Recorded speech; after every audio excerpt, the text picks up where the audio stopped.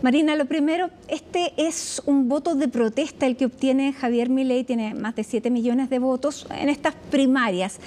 Este voto, traducido a una elección ya a la elección presidencial del próximo 22 de octubre, ¿se queda en la protesta o crees tú que también se traspasa eh, a, la, a la urna definitiva? Bueno, la política argentina no es novedad, es bastante compleja en ese sentido. Y nuestra corta vida de primarias y elecciones generales nos da también un poquito de experiencia sobre el tema. Eh, si leemos lo que dice la opinión pública, es un voto protesta, en realidad es un voto en contra de el sistema de partidos tradicional, dentro del cual hoy por hoy también podemos ubicar a Juntos por el Cambio, dado que está compuesto por uno de los partidos centenarios, la Unión Cívica Radical y el PRO, que ya lleva muchos años también ganando elecciones en todo el territorio. En ese sentido, eh, podríamos analizar como con algún concepto más bien de la ciencia política, ¿no? Nosotros solemos pensar en el voto como una herramienta estratégica, independientemente del nivel de información que pueda tener el elector, como eh, cuánto puedo votar con el corazón y cuánto puedo votar con la cabeza.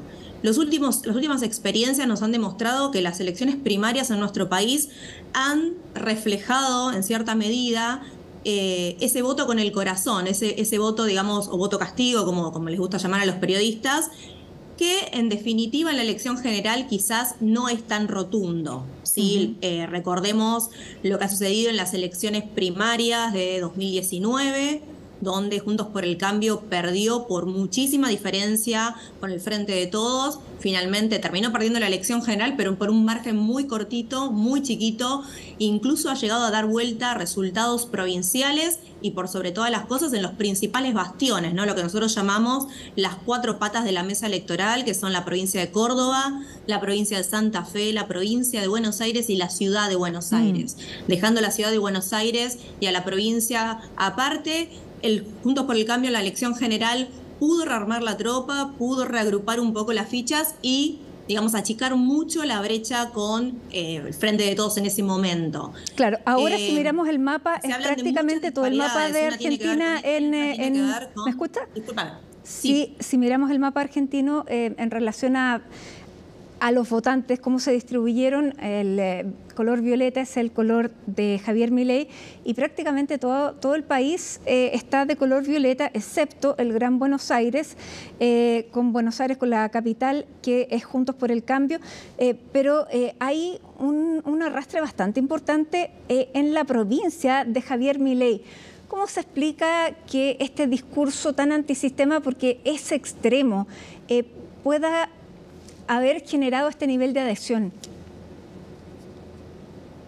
Yo creo que va de la mano con la situación económica crítica que está viviendo también el país durante ya mucho tiempo, donde aparte de tener un gobierno que no ha sabido dar soluciones, lamentablemente nos encontramos también con partidos tradicionales que no han sabido dar opciones de cambio concretas, más allá de los eslogans partidarios, ¿no? De somos el cambio, vamos a cambiar, esta vez sí, esta...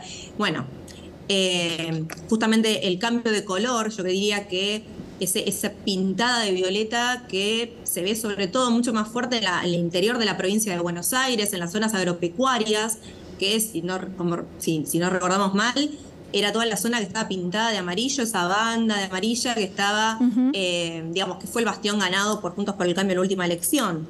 Eh, entonces, dos conclusiones importantes que al menos, no para ser tan eh, contundentes, digamos, al momento de tirar titulares ¿no? del fin de, pero es quizás el comienzo del ocaso de una línea dentro del partido peronista, dentro del justicialismo, ¿sí? el kirchnerismo, y por otro lado es un cimbronazo muy fuerte dentro de Juntos por el Cambio, que no deja de ser una coalición nueva que no está acostumbrada a vivir estos fraccionamientos y estas internas llevadas a nivel nacional como ocurrió este año. Ahora, Javier Milei no tiene prácticamente un partido que, sea importante a nivel electoral, eh, que movilice eh, a, los votantes, pero tiene este discurso que es tan eh, llamativo. ¿Hay alguna posibilidad que logre captar al electorado de Juntos por el Cambio convertirse en el próximo presidente de Argentina? Bueno, ahora comienza un nuevo juego y lo interesante es justamente los resultados en la interna de Juntos por el Cambio, ¿sí? donde gana una candidata de centro derecha que si bien no tiene nada que ver el discurso de Patricia Bullrich con el de Milley, Milley estamos hablando de un discurso de, digamos, del libertarismo, libertario, derecha eh, radicalizada, ¿sí? Eh, recordemos que varias de sus propuestas tienen que ver con eliminación de ministerios, de, carteras como salud, como educación, reducción al mínimo del Estado, reducción del gasto público, etcétera. No necesariamente es la agenda que propone Patricia Bullrich, y eso es lo que digamos, abre en cierta medida las puertas al optimismo en lo que queda en la oposición, ¿no? Si no, digamos, si los cálculos no salen mal, el elector de la reta, que la reta es un, si bien, digamos, es un centrista dentro de la coalición, es muy difícil pensar que la transferencia de votos se vaya a dar a eh, Milei, ¿sí? en, una elección general. Otra incógnita y no menor es, bueno, ¿qué va a pasar con los votantes del Frente de Todos, de Unión por la Patria, hoy por hoy? Y el porcentaje muy chiquito que le quedó a otro candidato peronista, que es Schiaretti, que bueno, quedó ahí, ahí bollando. El tema es que va a ser importante porque esta vez va a ser voto a voto en, la general, al menos para poder forzar una segunda vuelta. Claro, ahora, eh, Unión por la Patria obtuvo 6.460.000 votos. Juntos por el Cambio, 6.698.000 votos. Eh, Javier Milei, 7 millones. Andan más o menos por eh, lo mismo, ah, se están dando estos tres tercios, sin embargo, em, el peronismo y el kirchnerismo, tú dices, no hay que usar estas grandes frases, pero, pero pareciera que el kirchnerismo al menos está en retirada. Bueno, el candidato de, la cámpora, digamos, del kirchnerismo duro, que fue Juan Graboy, sacó 5% de los votos en la interna. Eh, ayer en, un discurso claramente alineado con el partido, no queda otra salida. Los peronistas, como decía el general Perón, cuando se pelean, no se están peleando, se están reproduciendo y siempre que vuelven poder se alinean detrás. Eh, que esa quizás es la jugada que no supo hacer o que todavía no sabe hacer Juntos por el Cambio, independientemente de que se han planteado eh, el jugar al kirchnerismo que sea por unos días. ¿sí? Esa línea dura yo creo que hoy por hoy es historia en, el electorado. Claramente ha dado muestras, las urnas han hablado, no representan ya las demandas de la sociedad, al menos la demanda de un gran sector de la sociedad, sino todo lo contrario. Eh, yo no sé si tiene que ver con una cuestión de izquierda-derecha, sino que tiene que ver más con una cuestión de demanda de política pública y demanda de decisiones políticas en un país que se encuentra en una crisis en la mayoría de, las carteras, en la mayoría de sus aristas. ¿sí? Por supuesto, el paraguas es la crisis económica, la gran devaluación que se espera en los próximos meses. Estamos hablando de un 200% de inflación a fin de año, es lo que más o menos están, se está especulando. Y bueno, cómo eso ha impactado en el sector agropecuario, por eso no es, eh, no sorprende en cierta medida ¿sí? que elijan esta opción, porque ya tuvieron también la experiencia de Juntos por el Cambio.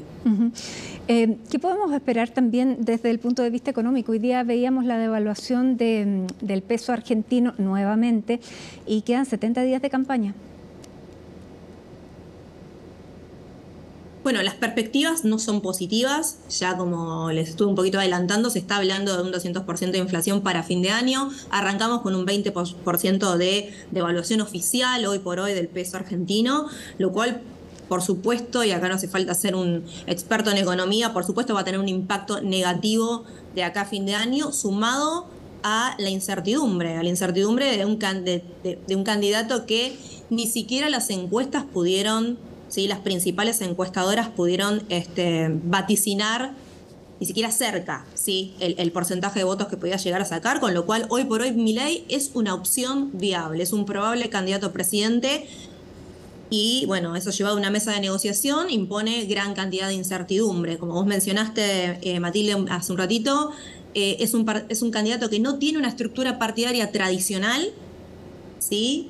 Pero cuenta con una estructura mediática muy importante y eso es algo también con lo que los analistas y la política se está encontrando hoy por hoy. Si es una nueva forma de hacer política masiva, espontánea, rápida, demasiado con mucha influencia, este, y quizás con poca propuesta. Bien, vamos a ver entonces cómo se, va definiendo esta, esta segunda vuelta que es prácticamente es una nueva elección. Vamos a ver las estrategias que va a ocupar cada uno em, y qué es lo que se va a definir el próximo 22 de octubre. Marina Lacalle, te queremos agradecer este contacto con CNN Chile para este análisis de un resultado bastante sorpresivo.